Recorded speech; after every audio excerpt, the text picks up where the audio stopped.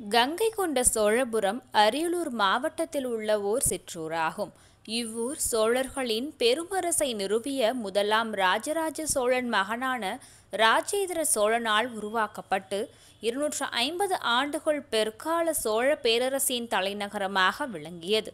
இங்கு ராஜேந்திர சோழனால் கட்டப்பட்ட சிவாலயம் இன்றும் உள்ளது. இதனை ஐக்கிய நாடுகள் அமைப்பு உலக பாரம்பரிய சின்னமாக அறிவித்துள்ளது.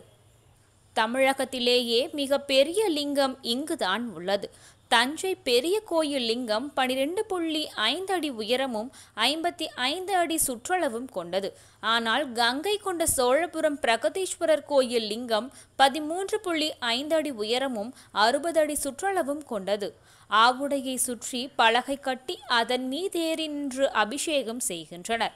ஒரே கல்லாலான மூலவர் இங்கு பிரம்மாண்டமாக அருள்பாலிக்கிறார். தஞ்சாவூரில் உள்ள லிங்கம் ஆணின் அம்சம். இங்குள்ள லிங்கம் பெண் அம்சமாகும். அங்கு உரல் வடிவம் இங்கு உடுக்கை வடிவம். இங்குள்ள நந்தியும் தஞ்சாவூரை விட பெரியது. தஞ்சாவூரில் உள்ள நந்தி ஒரே கல்லால் செய்யப்பட்டு உயரமான மண்டபத்தில் அமைக்கப்பட்டுள்ளது.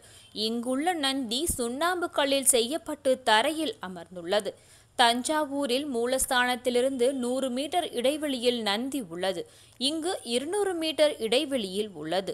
தினமும் பகலில் இந்த நந்தியின் மீது சூரிய ஒளி பட்டு அந்த ஒளி கருவறையில் உள்ள லிங்கத்தின் மீது பிரதிபலிப்பது மிகவும் சிறப்பு வாய்ந்தது.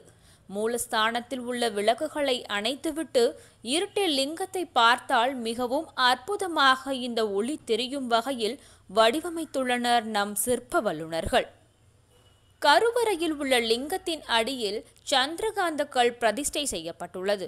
இதன் சிறப்பு என்னவென்றால் வெயில் காலத்தில் வெப்பத்தை குறைத்து குளிர்ச்சியை கொடுக்கும். குளிர்காலத்தில் குளிர்ச்சியை குறைத்து இதமான வெப்பத்தை தரும்.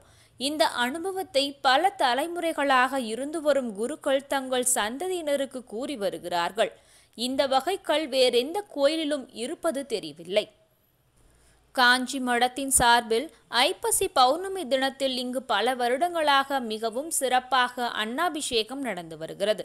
நூற்றுக்கணக்கான மூட்டை அரிசியை வேக வைத்து மூலவராக இருக்கும் பிரம்மாண்டமான லிங்கம் மூடும் அளவிற்கு சாதத்தினால் அபிஷேகம் செய்வார்கள்.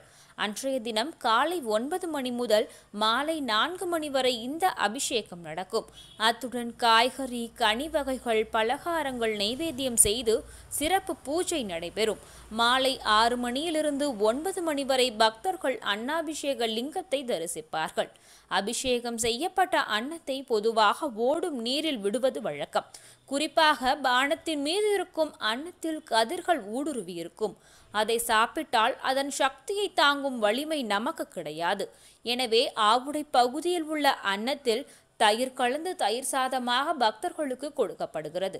குழந்தை பாக்கியம் இல்லாதவர்கள் இதை சாப்பிடுகிறார்கள்.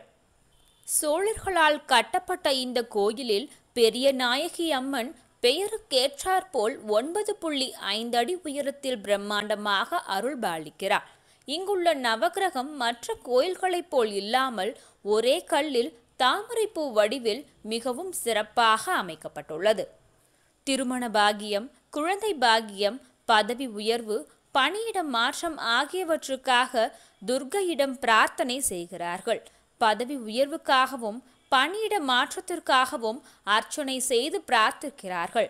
தங்களது பிரார்த்தனை நிறைவேறியவர்கள் பிரகதீஸ்வரருக்கு இருபத்தி ஐந்து மீட்டர் நீளமுள்ள வேஷ்டியும் பதினான்கு அடி உயர மாலையும் அம்பாளுக்கு ஒன்பது கஜ புடவையும் சாத்தி வழிபடுகின்றனர் இங்குள்ள கோபுரம் சோழர் கட்டடக்கலைக்கு எடுத்துக்காட்டாக விளங்குகிறது. தஞ்சாவூரைப் போலவே இங்கும் சிவலிங்கத்தை பிரதிஷ்டை செய்த பின் கோபுரம் கட்டப்பட்டுள்ளது. இருநூற்று பதினாறு அடி உயரமுள்ள தஞ்சாவூர் கோபுரம் கீழிருந்து மேல் ஒரே சீராக கட்டப்பட்டிருக்கும்.